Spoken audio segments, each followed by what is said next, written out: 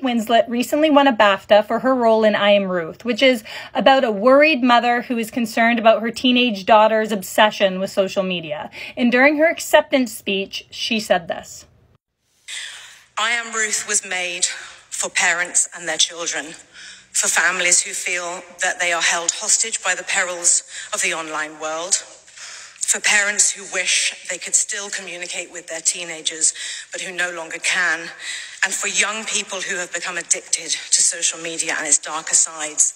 This does not need to be your life. To people in power and to people who can make change, please criminalize harmful content. Please eradicate harmful content. We don't want it. We want our children back. We don't want to lie awake terrified for our children's mental health.